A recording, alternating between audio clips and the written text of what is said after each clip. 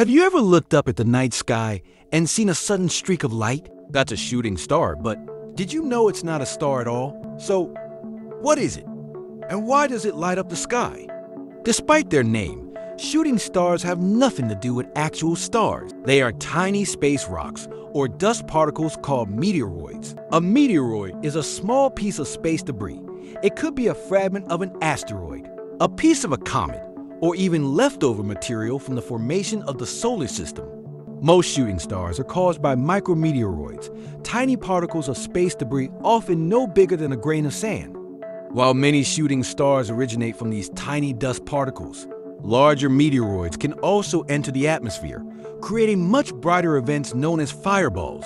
When a meteoroid enters Earth's atmosphere at super high speeds, air friction heats it up, making it glow. This glowing streak is called a meteor, or more commonly, a shooting star.